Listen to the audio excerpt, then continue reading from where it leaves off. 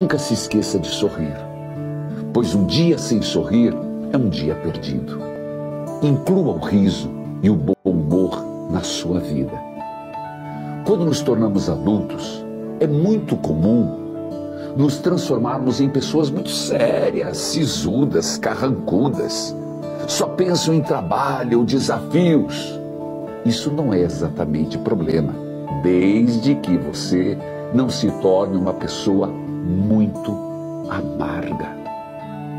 Quando você aprender a rir, os seus problemas, eles irão parar de torturá-lo.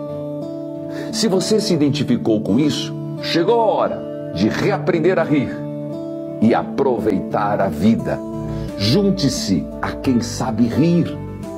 Alguém está rindo? Lembre-se de que a risada é contagiante e junte-se a ela, pois não existe nenhuma razão para compartilhar alegria.